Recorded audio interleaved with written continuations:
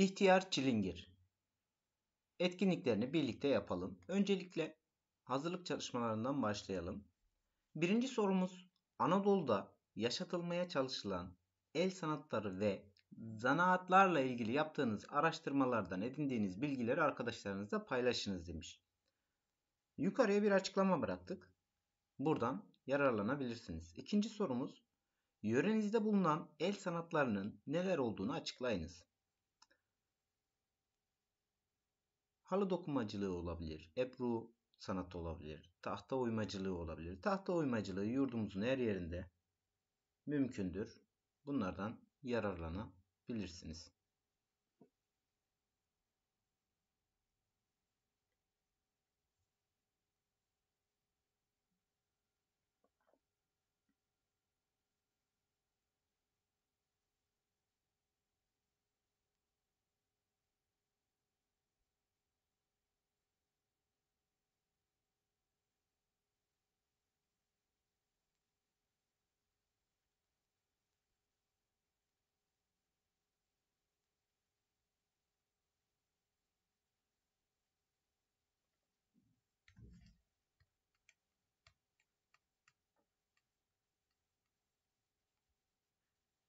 Birinci etkinliğimiz ateşi canlandırmak için kullanılan ve açılıp kapandıkça içindeki havayı üfleyen araç körüktür.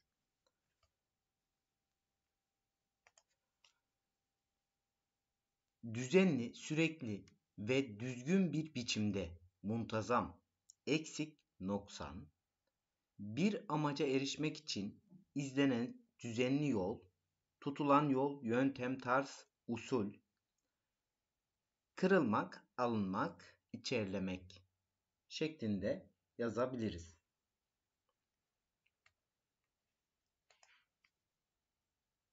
Öğrendiğiniz kelimeleri birer cümle içinde kullanınız demiş. Buraya örnek cümleler yazdık. Yararlanabilirsiniz.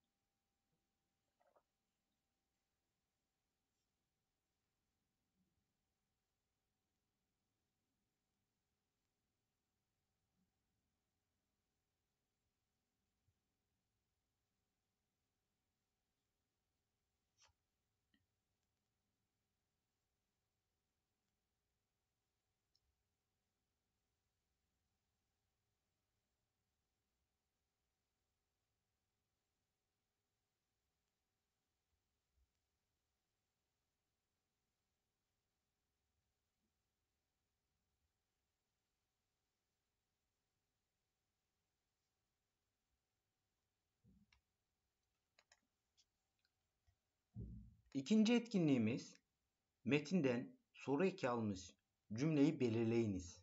Aşağıya yazınız demiş. Canım parasıyla değil mi? şeklinde soru eki mi'dir burada. Almış cümleyi belirledik ve buraya yazdık.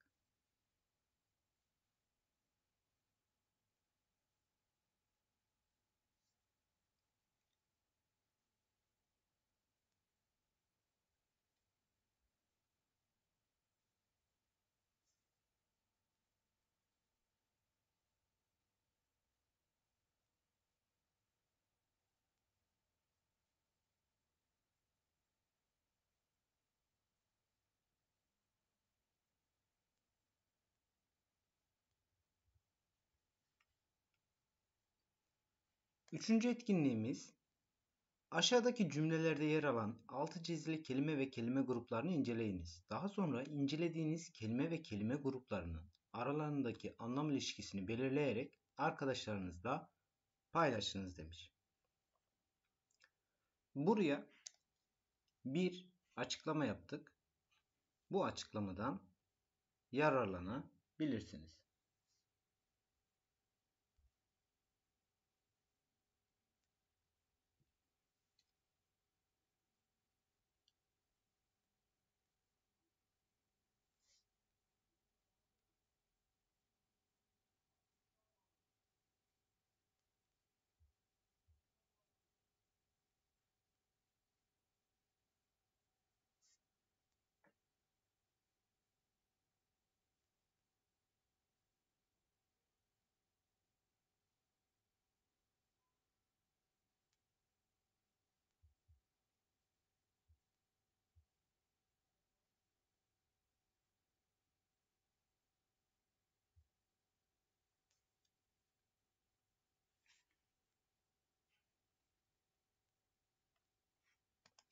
B'de ise cümlelerde yer alan zamirleri yuvarlak içine alınız demiş. Ben altını çizdim. Ben, oraya, birkaçı, sen, bunları, senin, buraya şeklinde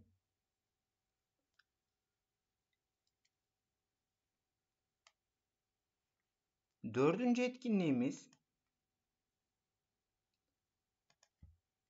soruları okuduğunuz metinden hareketle yanıtlayınız demiş. Birinci sorumuzun cevabını buraya, ikinci sorumuz buraya, üçüncü sorumuz buraya, dördüncü sorumuz ve beşinci sorumuz, altıncı sorumuz buraya olacak şekilde yanıtladım.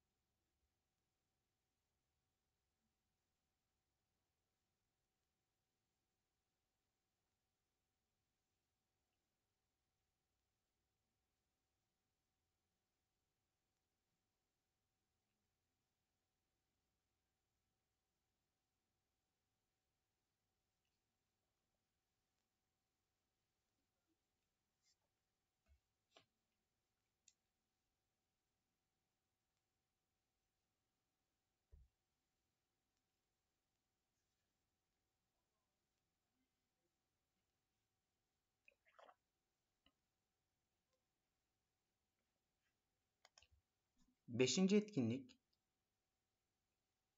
Siz çilingir dükkanında olsaydınız çilingire hangi sorular sormak isterdiniz? Yazdınız demiş. Bu mesleğe nasıl başladınız? Meslekte ne kadar kazanıyorsunuz? Sizden sonra bu mesleği kim devam ettirecek? Şeklinde sorular sorardım.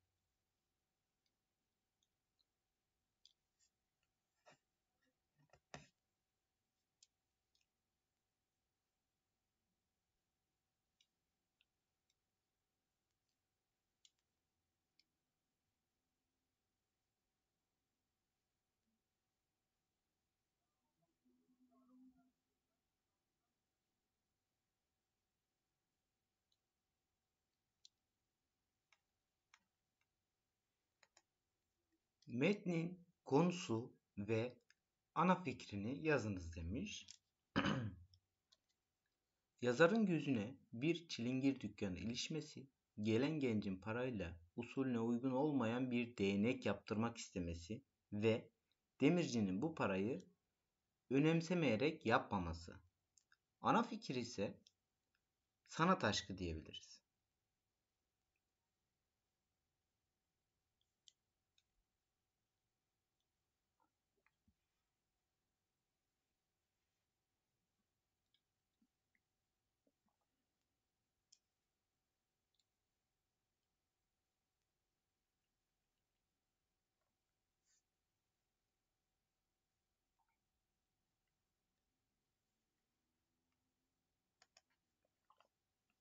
Yedinci etkinlik cümleleri inceleyiniz. Neden sonuç olanlara ne? Amaç sonuç olanlara A. Koşul cümlelerine K koyunuz demiş. Bu şekilde yanıtlayabiliriz.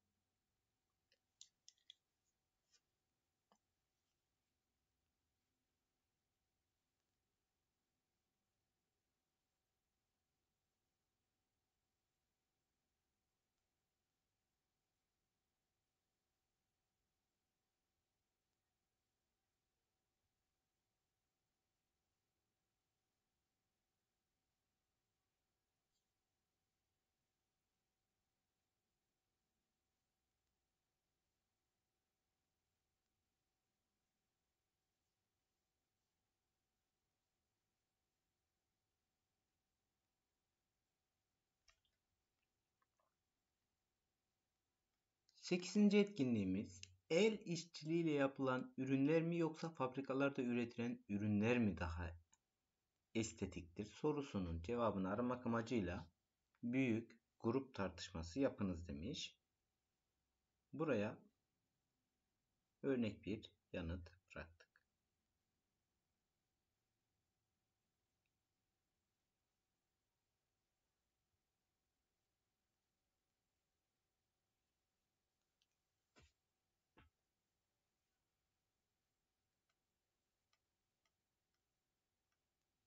Dokuzuncu etkinliğimizi ise bu şekilde cevaplandırabiliriz.